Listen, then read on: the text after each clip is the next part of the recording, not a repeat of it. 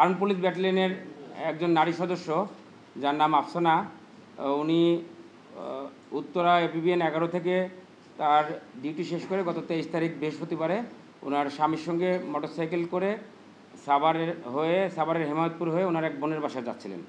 তো বিকালে তিনটার দিকে পিছন পিছন থেকে আসা একটি সেলফি পরিবহনের দ্রুতগামী বাস সেই বাসটি মোটরসাইকেলের পেছনে ধাক্কা দেন। ধাক্কা দেওয়ার পরে ওনার স্বামী মোটরসাইকেল চালাচ্ছিলেন। স্বামী মোটরসাইকেল থেকে সিটকে বামের দিকে পড়ে যান। আর যিনি ডিসিস্ট যিনি মারা গিয়েছেন, আফসানা কনস্টেবল আফসানা, উনি ডান সাইডে পড়ে যান। ডান সাইডে পড়ে বাসের চাকার নিচে পিষ্ট হয়ে ঘটনাস্থলে মৃত্যুবরণ করেন এবং ওনার স্বামীও সিভিয়ারলি ইনজিউর্ড হন এবং ওনার স্বামী পরবর্তীতে হসপিটালে চিকিৎসা গ্রহণ করেন। তো যথারীতি এই এই বিষয়টি নিয়ে মামলা হয়, মামলা হওয়ার পরে এই মামলাটি হাইওয়ে, যেহেতু হাইওয়ের ঘটনা, হাইওয়ে পুলিশ তদন্তের দায়িত্ব পান। এরপরে আমরা হাইওয়ে পুলিশের রিকুইজিশন রিকুইজিশনের ভিত্তিতে আসামিকে গ্রেপ্তার করবার জন্য চেষ্টা শুরু করি এবং যেদিন ঘটনা ঘটে ওই দিনই আমরা ড্রাইভারের বিভিন্ন তথ্য সংগ্রহ করি এবং ড্রাইভারের ড্রাইভারকে গ্রেপ্তার করবার জন্য তার পিস পিস রাত বারোটা পর্যন্ত আমরা বগুড়া পর্যন্ত চলে যাই। উনি একটি পিক করে আমাদের কাছে সমস্ত তথ্য ছিল, উনি একটি পিক করে পালাচ্ছিলেন। আমরা বগুড়া পর্যন্ত যাই, বগুড়া যাবার পরে আমরা যে কোনো কারণেই হোক আমরা তাকে মিস করি। তাকে গ্রেপ্তার করতে সক্ষম হই না। পরে আমরা শুক্রবারে আবার অপেক্ষা করতে থাকি বগুড়া থেকে আমরা ব্যাক করি। পরের দিন শুক্রবার, শুক্রবারে আমরা আবার যথারীতি তাকে ট্রেস করার চেষ্টা করি, তার তথ্য সংগ্রহ করার চেষ্টা করি। শনিবারে আবার তার বিষয়ে তথ্য পাই যে উনি নওগাঁর মহাদেবপুর থানার একটি প্রত্যন্ত গ্রামে অবস্থান করছেন।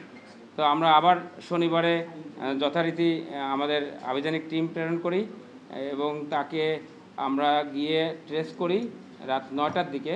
তখন তার মুভমেন্ট ছিল।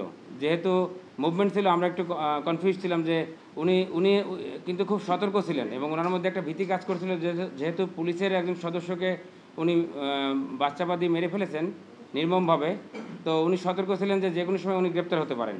তো উনি খুব সাবধানতা অবলম্বন করছিলেন।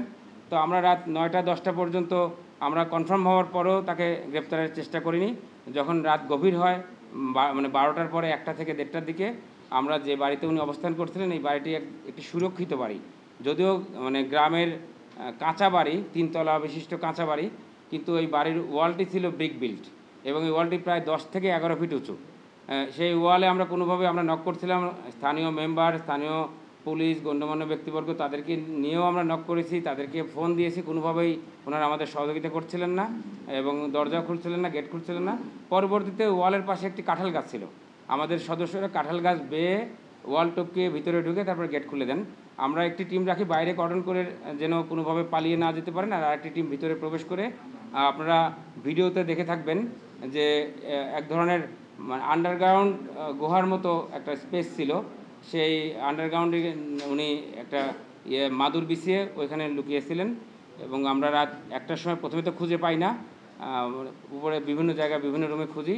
তো আমরা যেহেতু নিশ্চিত ছিলাম যে এই বাড়িতেই আছেন, তখন আমরা মানে একদম প্রত্যেকটা জায়গায় যখন মানে খুব আন্তরিকভাবে আমরা ইয়ে করি সার্চ করি তখন একটা পর্যায়ে ওই মাটির নিচে, অর্থাৎ তিনতলা যে মাটির ভবন, সেই ভবনের নিচে একটি গুহার মতো ছিল, সেই গুহা, গুহার মধ্যে থেকে তাকে আমরা গ্রেপ্তার করতে সক্ষম হই।